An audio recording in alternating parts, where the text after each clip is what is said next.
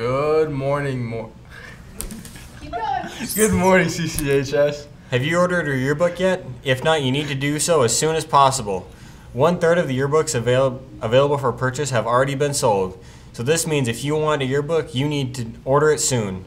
Scan the QR code on the poster around the school. Eh, if if you can find one, head da- if you can't find one, head down to Miss Reed's room, room 617.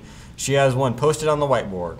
Hey students, Maggie Nelson needs your help with her capstone project. She is hosting a blood drive. Don't miss the chance to save lives by donating blood at our upcoming blood drive on October 25th. Grab your permission slips from the nurse's office by October 23rd and join us in supporting Maggie Nelson's capstone project. Your contribution will make a difference. Do you love pizza? Do you also love robots? Then come down to the Innovation Lab on Monday, October 9th during lunch. If we will have pizza and a demo of our ro- robotics center and the BattleBot station. There are limited spots available, so please sign up for this event at the counseling office as soon as possible.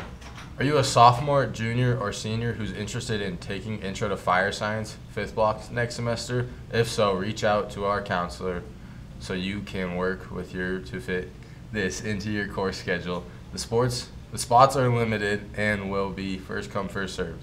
We are having the college fair or our college fair on October 10th from 6 p.m. to 7 p.m. in the Tiger Dome.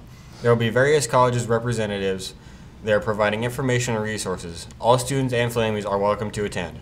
Good luck to our Tiger mountain bikers this weekend as they need or as they head to Nathrop Nathrop for their final regular season races. Softball has a home game at Rouse Park.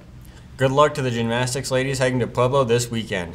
Today for lunch is pizza. Have a great day, Tigers.